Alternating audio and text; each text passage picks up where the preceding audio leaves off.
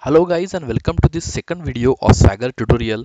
So in the last video we have seen what OpenAPI specification or Swagger definitions is and what are the what contract means and what is the particular reason for which we should be using the OpenAPI definition and not anything else. So let's just revise it quickly. So OpenAPI specification is the API description format for REST API. So the API file will describe your entire API which will include your endpoints and operations on those endpoints the operation parameters input and output for those operations the authentication methods for different uh, apis available. Then it can also have optionally the contact information in case of any support is needed the license information the terms of use etc so what these open api specifications are there? So open api definitions are nothing but the simple json or yaml files So as you all know, the JSON or YAML file we can open using any text editor. You can open it using Notepad, you can open it using Notepad++, or you can use any other text editor. They are just like the simple text files, which you can uh, which you can uh, save it in SVN or Git repositories as well. So in this video, we are going to showcase you the Swagger editor tool, which we are going to use for uh, this purpose. And we will be creating the step-by-step guide for creating how you can create your first API definition using the Swagger editor. So what Swagger editor is? So before we go on to Swagger editor and see how it uh, looks like, there are a few things you, which uh, I think you should be uh, knowing first. So Swagger editor is freely available to use at editor.swagger.io. So now I know what next uh, what uh, next question that is going to come to your mind. Is why should we trust something or trust something which is which is not which does not belong to us? Why we should put our api definitions on the server which we don't know who owns it? So guys to answer that question swagger editor is completely built on client side javascript which essentially means your API definitions will run only on browser. So you don't need to trust the server while editing or viewing your definitions. So Swagger Editor is also open source and it is available on GitHub. The GitHub link is available in the description section. You can download the Swagger Editor code at your end and you can also run on your local servers or your project specific servers to provide the much more security features. Now the downside of swagger editor is that there are no cloud storage available. So you you can edit it your swagger definition file and once you edit it you have to save it locally.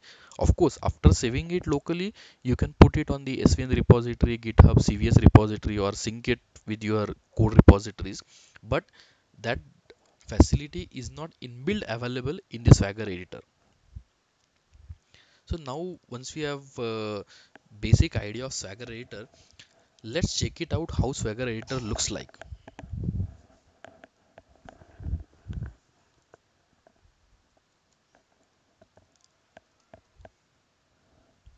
So i have opened the editor.swagger.io so guys uh, uh, as you can see whenever we load this particular url this Petstore swagger is is loaded by default. So you can see there are two sections on this screen. So on the left side you have the editing uh, window. So uh, the text that that you are seeing in this left side window is your actual definition swagger definition file. So if you open any swagger definition file uh, using notepad or notepad plus plus you will see what you are seeing it on the left side. So you can edit on left side while on the right side what you are seeing is the visual or the uh, the visual display of the API that you have provided on the left side.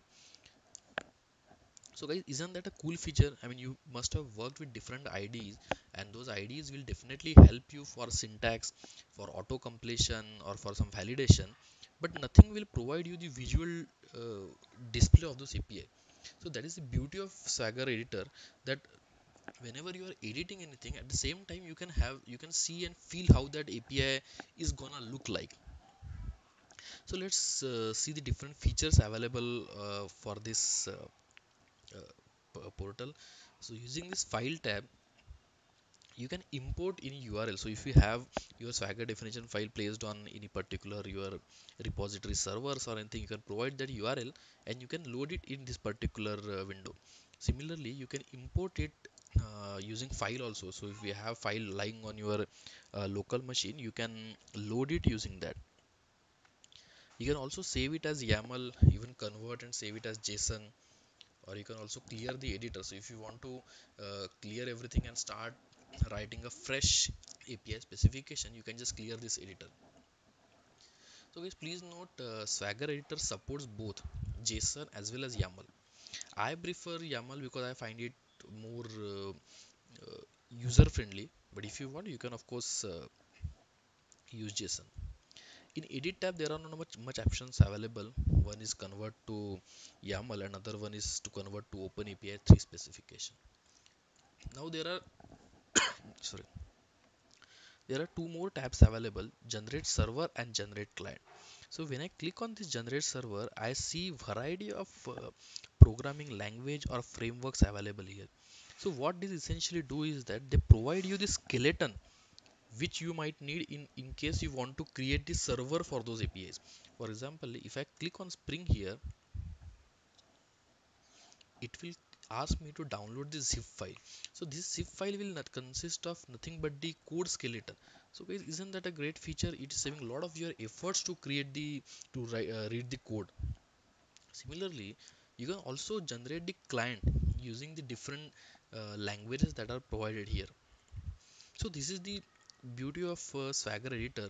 It is saving a lot of your time to generate the server generate the client. So if you have the api definition even if you don't have the actual server available using this utility you can quickly generate the server code and you can start uh, working with those apis so let's see now the different uh, things that that are available on the right side of this panel so as you can see this is the title of uh,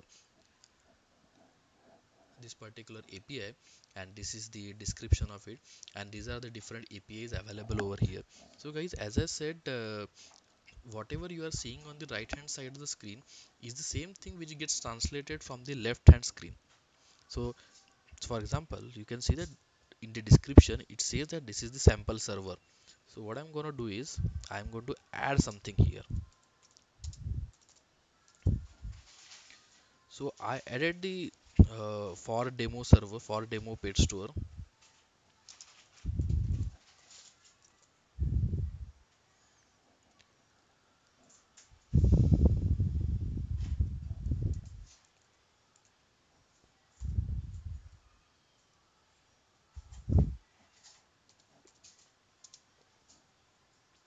So as you can see that as soon as I enter this for demo purpose it got reflected over here.